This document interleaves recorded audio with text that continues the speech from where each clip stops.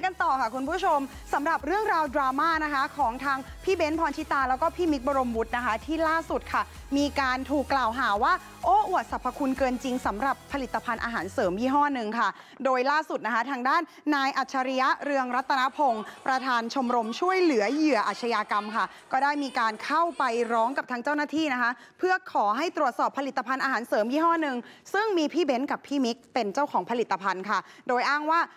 โดยอ้างว่าเอ่อสรรพคุณเนี่ยเกินจริง กิน 2 เดือนลดไป 10 โลค่ะ ถูกต้องซึ่งแล้วในวันเดียวกันเนี่ยช่วงเย็นเมื่อวานนี้นะคะ ครับ เราก็เลยได้มีการไปเจอกับทางพี่เบนซ์แล้วก็พี่มิก พูดถึงเรื่องนี้กันสักหน่อย พี่เบนซ์พูดนะคะว่าจริง ๆ แล้วเนี่ยทุกครั้งที่แกไลฟ์คุยกับแฟนคลับเนี่ยเป็นเรื่องจริงนะ แล้วแกก็ลด 10 โลจริง ๆ ค่ะ โดยยืนยันด้วยนะคะว่าทั้งคู่เนี่ยเป็นเพียงแค่พรีเซนเตอร์ไม่ใช่เจ้าของผลิตภัณฑ์ด้วย เอ้าไปฟังเสียงกันหน่อยค่ะ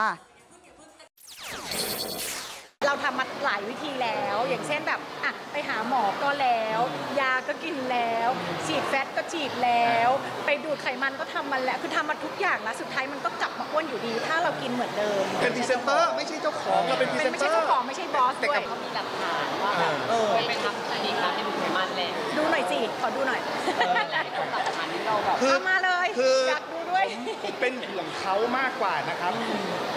พี่ ผมไม่อยากพูดประโยชน์ที่ขอพูดนิดเดียวคือ หลักฐานพี่เยอะทุกเรื่องเลย เอามาคุยกันดี คุยดีๆก็ได้ อย่าไปแบบนี้เลย เพราะมันหลายครั้งแล้วที่พี่มีหลักฐานแต่มันสุดท้ายมันไม่มี เราเรารู้เบื้องหลังแต่เราไม่ไม่อยากพูดคือโอเค มันอาจจะด้วยทางธุรกิจที่มีคู่แข่งหรืออะไรอย่างนี้แต่แบบ